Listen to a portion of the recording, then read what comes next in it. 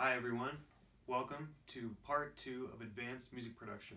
My name's Anders and I'm from the Charlestown Club and today we're going to add new instruments onto Ableton Live. Last week we made a drum track and we added a drum beat on a loop and this week we're going to learn how to add more sounds to our beat. Here we go.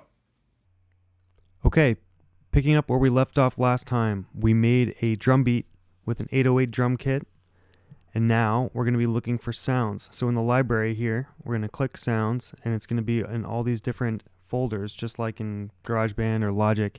It's just organized by different sound. I'm going to find a mallet sound for a melody. Every time you click on a sound, it gives you a little preview. Uh, I'm just going to take one of these, drag it onto a MIDI track, play something in F minor, and make it sound, uh, you know, unique.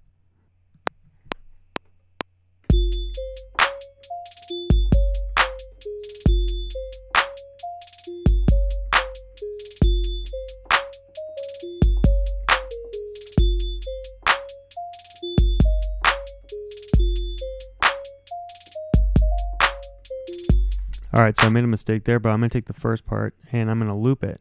So what I want to do is go to this part of the window on the top right corner, click the horizontal lines. That's our timeline. So what I just played here is in red. I'm going to double click on the top part where the hand shows up, and that will open what I played into this piano roll editing mode. In this window down here, I can change the notes, I can quantize them and make them snap to the grid of any subdivision. Or uh, what I can do is select part of it. If I play it back, I can select the best part and loop that part to play with the drums over and over again.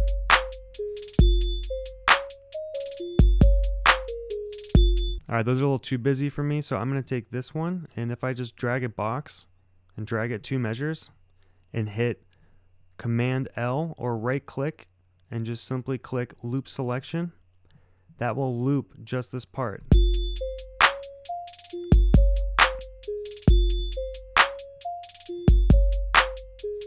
Now I can take this clip, right click, copy it, or just Command C to copy and Command V to paste, just like a Word document. I can click back to my mixing window and drop it into one of these slots up here.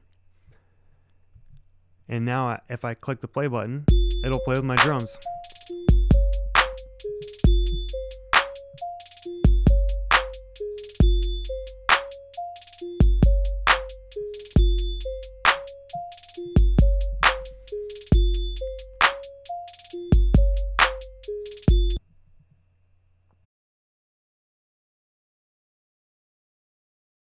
Okay, and I basically just did the same exact thing for the bass track. I found a sound that I liked. I played it on the timeline. I chose the section that I wanted to loop in the MIDI editing window. And then I pasted it onto my clipboard right here. And when I play the three together, I get this.